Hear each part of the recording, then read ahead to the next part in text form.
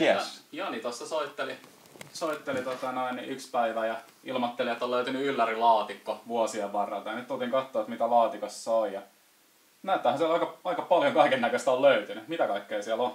Siis sieltä löytyy itse asiassa parit kansikuvat ulkomaalaisiin lehtiin, mitä on tullut hankittua ja jopa numerossa ja kansikuva.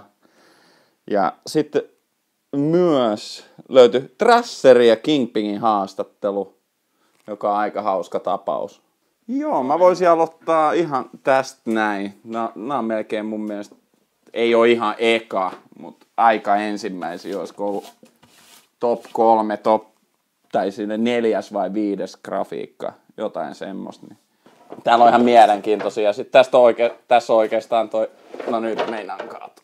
Niin tää, tää kuuluu siihen tota, 16-18-vuotiaana.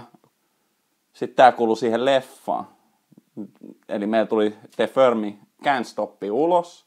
Ja sitten tää lauta tuli siihen niinku, tää on niinku siitä leffasta, että tehtiin Pro Model Deckia. Mä heitän tämmösen Molotovin seinää, koktaili seinää. Ja sitten tää oli ihan pienellä tihrustuksella mun nimi. Katsotaan vielä. Joo, sitten tuli jotain pieniä muutoksia.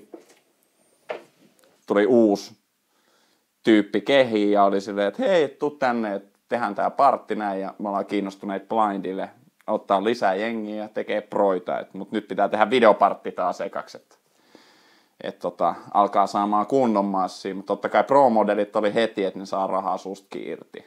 Niin. Tästä mä oon ihan onnellinen.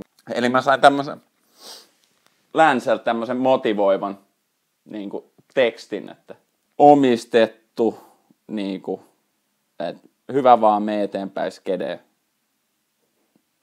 Ruohiksen kinkkeri joskus back in the days. Frona Porsche. Sitten San Franciscos rähinäpäkki nousi pluntti. Katoha, kato, kato, kato. Vihi kolmari back in the days. Mystinen Kingpingin kansikuva. Tuossa sitten numero. Eli fronttikruuksi transferi tämmöiseen parruun. Tämä oli mun ensimmäinen kansikuva oikeeseen amerikkalaiseen skeittilehteen.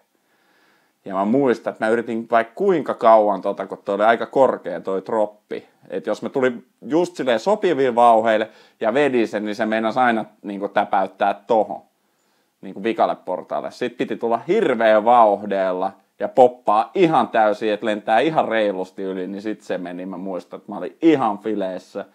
Ja sitten kun nämä sankarit kertoivat, että saat kansikuvan, niin mä olin, että ei vitsi miten siistiä.